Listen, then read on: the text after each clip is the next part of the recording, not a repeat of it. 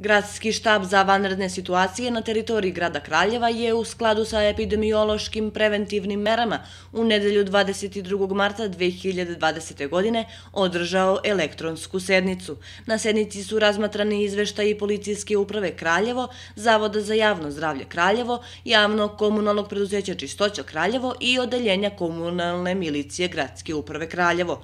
Prema izveštajima kupovina organizovana za naše sugrađane starije od 65 5 godina u određenim prodavnicama na teritoriji našeg grada u ranim jutarnjim časovima od 4 do 7 časova protekla je bez problema. Zbog kršenja zabrane kretanja kažnjene su dve osobe. Prema izveštajima kupovina organizovana za naše sugrađane starije od 65 godina u određenim prodavnicama na teritoriji našeg grada u ranim jutarnjim časovima od 4 do 7 časova protekla je bez problema. Što se trenutne epidemiološke situacije na teritoriji grada Kraljeva tiče, konstatovano je da na teritoriji grada Kraljeva nema potvrđenih slučajeva zaraze, ali da postoji povećanje broja lica koja se prate.